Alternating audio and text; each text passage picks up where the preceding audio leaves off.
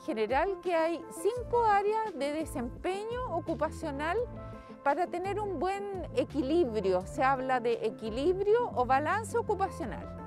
Esas cinco áreas de desempeño ocupacional que se deberían preservar al interior de la casa, independientemente de que estemos o no en pandemia, deberían ser las actividades de la vida diaria básicas hacen referencia básicamente a las actividades de higiene, de alimentación y de vestuario y cuánto hay de autonomía o de independencia en esas actividades.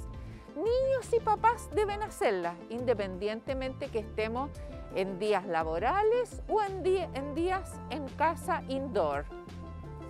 Las actividades instrumentales son manejo de dinero, cuidado de mascotas, eh, desplazamientos, eh, traslados, etc. La segunda actividad son las actividades productivas. Se entiende por actividad productiva actividades obligadas, actividades académicas o actividades laborales. Hoy día tenemos certeza, convicción de que tanto niños como papás deben de ocupar territorialmente el mismo espacio adentro de la casa. No obstante, las actividades académicas o productivas deben desarrollarse al igual que cuando estamos afuera de la casa desempeñándola. Esto es, una hora y media con pausas de alrededor de 20 minutos. Eso de alguna manera promueve el rendimiento, el sentido de autoeficacia, el sentir que yo estoy siendo capaz de rendir para esas actividades. La tercera actividad se llaman actividades de participación social. También hoy día se han visto mermadas desafortunadamente porque estamos más en casa, tenemos más restricciones de desplazamiento y en consecuencia no podemos juntarnos con los amigos. No obstante, en tanto la autoridad sanitaria lo permite, deberíamos tener espacios al aire libre, con los resguardos suficientes, con todo lo que nos han instruido que debemos hacer, a tener actividades en parques, en plazas, etcétera, guardando la distancia.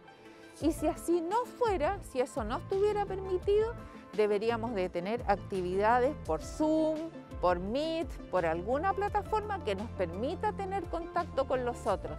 Eso fomenta el sentido de pertenencia y la identidad social. La cuarta actividad se llaman actividades de esparcimiento y tiempo libre.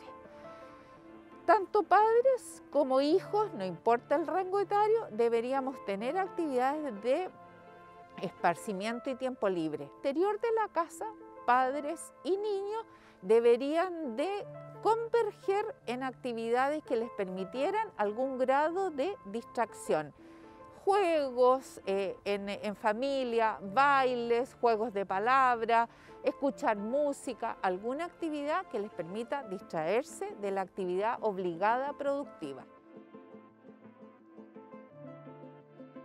Y la quinta actividad son actividades de descanso y sueño, se llama. Eh, para poder tener una buena jornada y un buen balance o equilibrio ocupacional debemos de preservar al menos 8 horas de sueño. En las actividades productivas, que deberían ser alrededor de 8 horas al día, y en las actividades de descanso y sueño, que deberían ser otras 8 horas, tenemos 16 horas. En consecuencia, las otras 8 horas debe haber una alimentación balanceada y equilibrada, deberían haber actividades de participación social y deberían haber actividades de esparcimiento y tiempo libre. Niños y padres ocupando el territorio, distribuyéndolo, estas actividades de manera de fortalecer los vínculos.